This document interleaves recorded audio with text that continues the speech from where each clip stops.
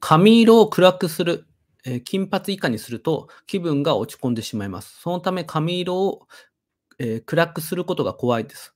そのせいで就活ができません。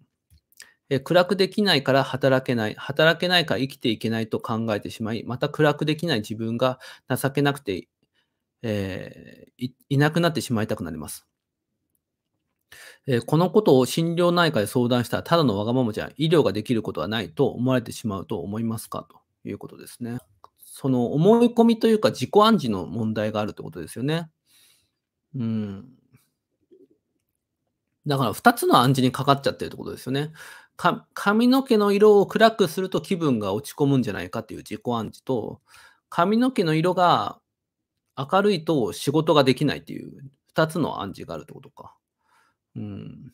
あと、これか、働けないなら生きて、生きてても意味がないっていう、まあ3つの暗示ですね。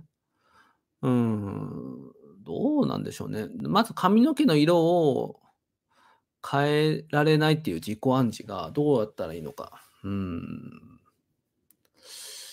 そうね。どうやったらいいんでしょうね。うん。髪の毛の色を、そうだね。だからその自己暗示をやっぱり暗示だと気づいて、えー見るということだね。その因果関係はないからね。髪の毛の色と自分の精神のことっていうのは。因果関係はないので、何かしらの、まあ、理由で自己暗示をかけたってことなんでしょうけどね。まあ、それが一点ですよね。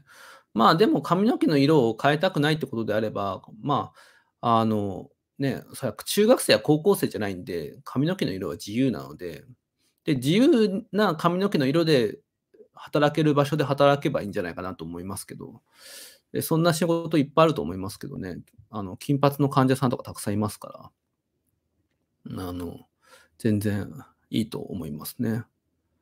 うん、まあ、わがままだとは思わないですね。自己暗示の問題かなと思います。はい。